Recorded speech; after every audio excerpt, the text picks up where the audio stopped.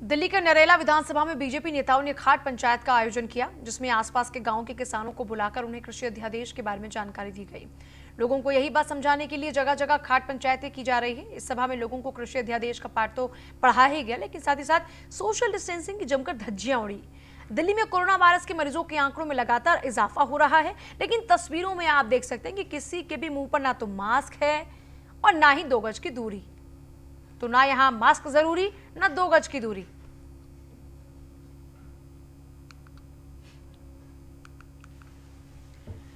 उत्तरी दिल्ली नगर निगम के राजन बाबू टीबी हॉस्पिटल में डॉक्टर्स ने सैलरी ना मिलने को लेकर हड़ताल की है और कार्य बहिष्कार भी शुरू कर दिया। करीब चार महीने से सैलरी ना मिल पाने के कारण कर्मचारियों को रोजी रोटी का संकट पैदा हो चुका है। डॉक्टर्स ने 15 अक्टूबर से दो घंटे की सांकेतिक हड़ताल शुरू की। लेकिन इन, इनकी जो मांग है वो अब तक नगर निगम ने स्वीकारी नहीं है अब तक इनकी सैलरी मिली नहीं है। अब डॉक्टर्स ने अनिश्चितकालीन हड़ताल शुरू कर दी। डॉक्टर्स की हड़ताल से इमरजेंसी सेवाएँ भी ठप हो चुकी हैं।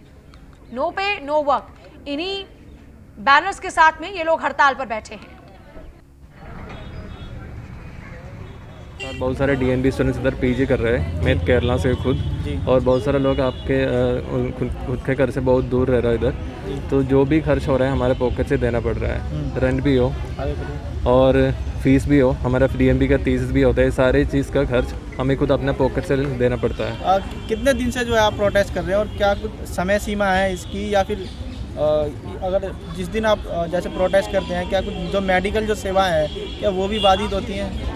पंद्रह तारीख से हमारा इंडेफिनेट प्रोटेस्ट शुरू हुआ है। हम भी चाहते हैं कि इसका इस जल्दी एक परमानेंट सोल्यूशन निकाले और जल्दी हमें पता है कि हमारे स्ट्राइक की वजह से पेशेंट्स को भी काफ़ी दिक्कत हो रहे हैं। हम भी यही चाहते हैं कि जल्दी के जल्दी हमारे एक परमानेंट सोल्यूशन निकाले और स्ट्राइक जल्दी के जल्दी खत्म हो। परेशानी हो रही है। हम यहाँ पे घर का ईएमआई पे नहीं कर पा रहे हैं कार का ईएमआई पे नहीं कर पा रहे हैं। और ऐसा पहली बार नहीं है कि ये हुआ है। इस एक साल में इससे छः महीने पहले भी हमें स्ट्राइक करनी पड़ी थी तब जाके एक महीने की सैलरी आई थी।